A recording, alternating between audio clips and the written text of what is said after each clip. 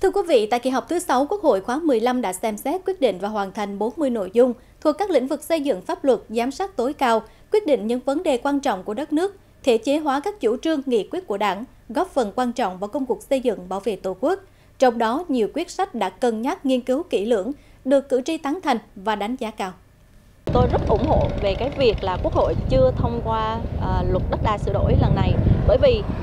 uh, trong suốt cái quá trình lấy ý kiến thì chúng ta thấy rõ là có rất nhiều những ý kiến và có những cái nội dung vẫn còn đang tranh cãi rất nhiều và khi chúng ta chưa thống nhất được các nội dung này thì chứng tỏ là luật đất đai nó vẫn chưa thể ban hành mới để mà đưa ra được một cái chính sách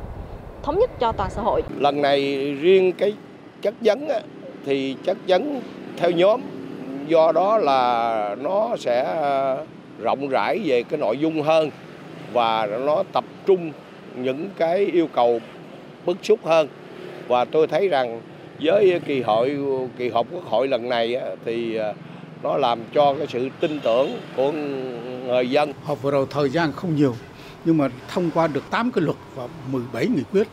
và những cái rất là sát sườn, sự mong đợi của nhân dân ờ, cả nước. Bản thân tôi và coi nhân dân mong rằng cái luật ra cuộc sống mà, thì cái này yêu cầu sự giám sát quốc hội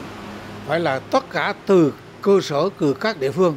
Và có cái gì coi nó phát sinh, phải là điều chỉnh kịp thời cho phù hợp với cuộc sống. Thì cái luật đó là, chính là cái luật của nhân dân, cái đem lợi ích quyền lợi cho nhân dân. Và đó là cái sức sống và người ta sẽ là tôn vinh quốc hội, đã đưa ra những cái việc rất sáng suốt, tạo cái điều kiện để phát triển đất nước.